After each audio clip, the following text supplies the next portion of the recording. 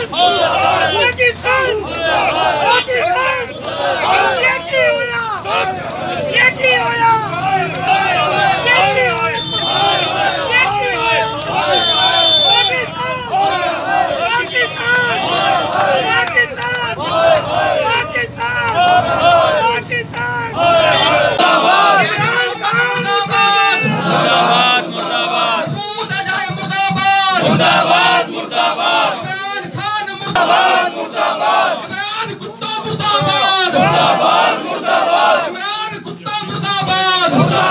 जनमंच की आज़ादी news channel के लिए शाहबाद से प्रदीप कुमार की रिपोर्ट।